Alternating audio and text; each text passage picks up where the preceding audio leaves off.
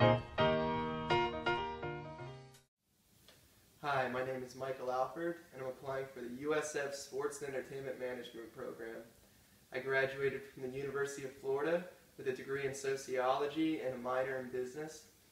While at Florida, I played all four years on the varsity tennis team. With tennis being fall and a spring sport, it made academics pretty tough but I was proud that I was able to receive a four-time SEC Academic Award, and my senior year I was awarded an ITA Scholar Athlete. By the time my four years was over, I finished eighth in school history and all-time singles wins, and reached a career-high doubles ranking number 14. I was introduced to business at an early age when my dad started his own pharmaceutical distribution company. Early on, I would handle tasks such as invoicing, payroll, and any other little things he needed me to do to keep me busy. As I got older, I handled bigger tasks such as sales, and even took over day-to-day -day operations when he was away on vacation. For many years, we held season tickets for the Lightning, and this was a cool way for me to, to kind of tag along with him and business clients and see how business operations could be conducted outside of a formal setting.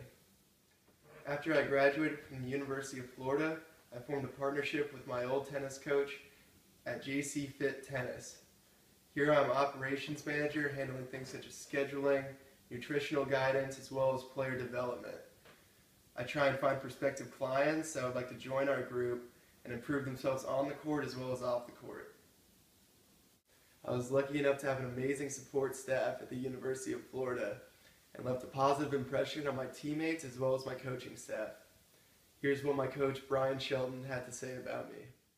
Hey there, Gator fans. I'm Kelly Hawkins alongside head men's tennis coach Bryan Shelton. Coach, it's senior day on Sunday, which is a really special day for the entire team, but especially for your two seniors. First off, Mike Alford, Gator MVP last year, 80 career wins. Just talk a little bit, a little bit about what he's meant to the program. Well, Mike's been uh, he's been tremendous. You know, number one, he's a great person. I talk about that all the yeah. time because you know, it's it's rare that you find a guy that comes to practice every day with a smile on his face and just ready to go. Mm-hmm. Um, and he's one of those guys that everybody loves. Uh, he's a great teammate. He's a great player. Uh, he does well. He competes hard on the court. He's very successful in the classroom. So he's just the all-American boy. But uh, you know, we're, we're certainly uh, enjoying this season with him. Mm-hmm.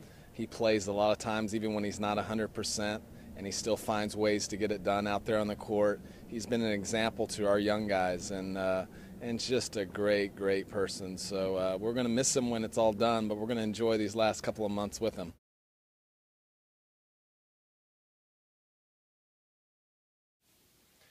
My three to five year goals upon completing this program are to be involved in working with the sports team. I've been told from people who have already completed this program and are currently in this program that you should go in with an open mind. And I'm completely willing to do that. My love for any sport, basketball, football, tennis, I think really suits suits me well to, to get into a good internship and start at the bottom and try and work my way up to where I want to get to. In closing, I'd like to thank the Applications Committee for watching this video and considering me as an applicant for this program. From hearing anything about Dr. Sutton, I've heard that he's an amazing person who's willing to help all of his students to achieve their goals. The amazing organizations that this program is affiliated with is something that could propel me to the next level and get me to the point in sports and business that I have hoped to achieve from an early age. I appreciate you watching and have a nice day.